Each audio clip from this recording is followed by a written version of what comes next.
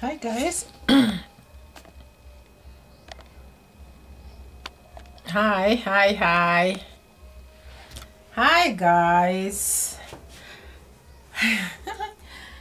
My mother heard that uh, a neighbor had taken her daughter to Sweden.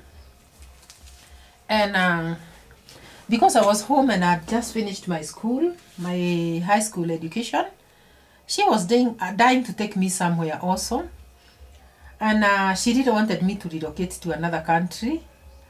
And uh, our neighbor's daughter had gone to sweden. So my mom went sourcing information on how, what they did. And um, she got all the information. There was a lot of money needed. There was a visa needed. But uh, all that had to be done through somebody who was to assist my mom in getting the documents, the visa document, going to the embassy. First of all, getting a passport because I did not even have a passport. Um, she had to cough some money for me to be taken to um, the immigration department to source a passport. And that is what happened. So guys, I I was very happy when my mom said that I'm going to Sweden and who wouldn't be? Who wouldn't be? I was dying. I told all my girlfriends that I'm relocating and that I'm going to Sweden. Also, my mom tried her best because um, uh, the neighbor's daughter, within one year, she had sent a lot of money home. And my mom was like uh, dying to at least um, uh, see her daughter also go abroad. And guys, Hey, have you ever been told about? Uh, have you ever been told uh, news about travel? And even when you sleep in your dream, you just dream that you have traveled and you're in that country, and that was me. I was so excited that I couldn't sleep, and when I slept, I was just dreaming that I went and I arrived and I'm there and I'm holding a lot of money. I don't know whether I thought that we would go there and pick money from the streets. So arriving was the, the issue here. In my dream, I could see myself having arrived and having a lot of money. Only to wake up the following morning and I find that I'm still in Kenya. and guys, it was not uh, uh, a walk in the path getting the documents, especially the visa. Uh, but uh, I got I got the visa after getting the passport. I got the visa, but guys, on getting the visa, the problem was now raising money for for the air ticket. And what was I going to do in Sweden? I was supposed to go and study and work at the same time. So guys, my mom almost killed herself trying to raise that this money for for for the uh, air ticket. It was not easy, and I was also very hard on my mom because I was singing to her like a song, especially when the days went and uh, I was left with only two weeks, and my mommy had not even, uh, I mean, uh, managed to raise the money. I was on her case instead of um, maybe encouraging her and uh, praying that um, okay, mom, you'll make it. I kept on putting pressure on her, and my mom had ulcers. My mom had high high blood pressure. My mom had diabetes, and here I am putting on a lot of pressure on her. And guys, you know what? A week before the date of my travel, my mom fell sick, and uh, very sick. She was hospitalized in the village hospital and even got worse.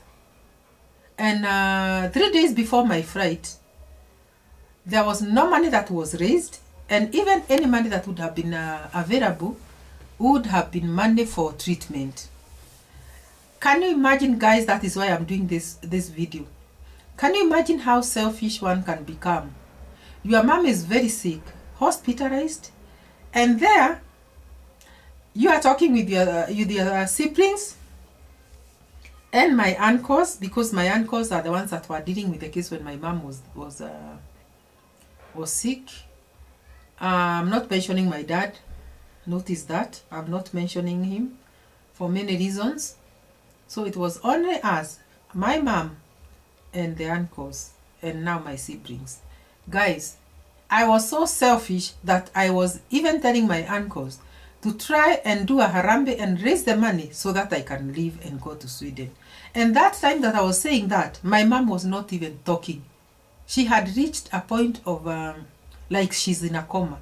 But still, my mind was in going to Sweden to a point that I did not care whether um, my mom will will uh, will uh, rise from that hospital bed and go and, and look for, for money for me.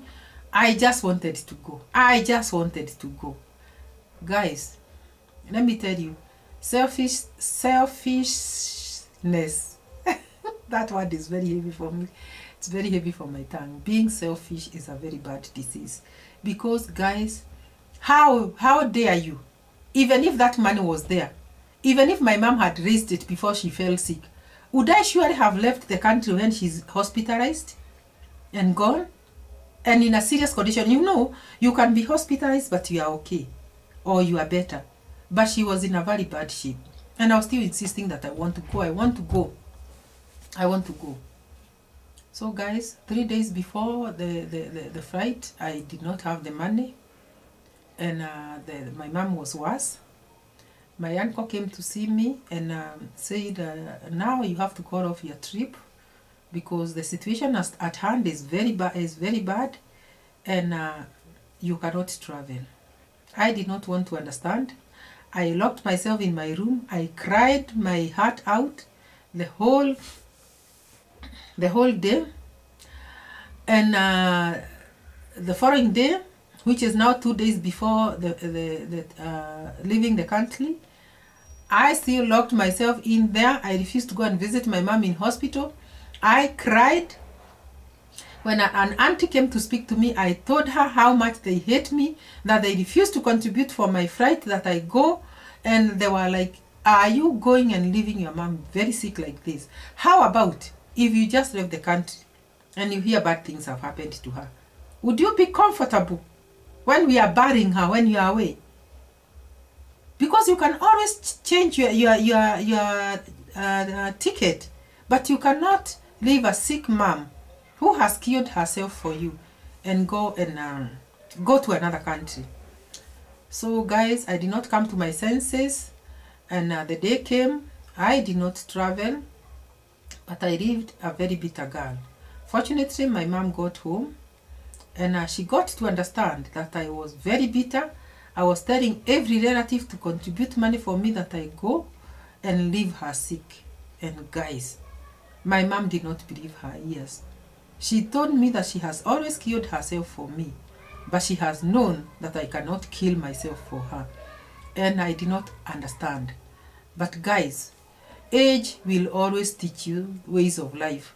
When I later um, uh, grew up, I realized that uh, uh, there are some things in life that happen, and uh, it's like they happen for God to test what kind of a heart you you have, and I became wiser because uh, I later realized the, the grievous mistake that I would have made if I if I ever traveled and left that lady sick like that, and um, it is this time that I I uh, was in church, and uh, a pastor uh, came to our meeting and spoke to us about the importance of family and how blessed we are to have the the people that we have in our lives, especially uh, parents.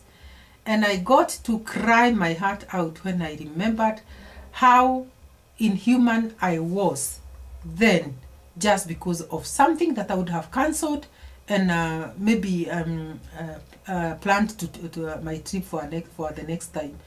I, I repented and I went and said sorry to my mom. And then after that, guys, doors opened for me. Doors will close until you come to your senses, guys. This video was to tell you that doors will close until you come to your senses. It is not until the time I came to my senses that my doors now opened and I was able to travel. So, guys, always wait upon God. God's time is the best. Do not ever rush issues. If something does not happen, leave it at that. It was not uh, to happen that particular time. Leave it at that and wait upon God. Guys, like and subscribe to this channel. This is Never Age TV. And guys, we agreed we are going to subscribe. So please, before you move on, just hit that subscribe button. And we'll see you in the next one. Bye-bye.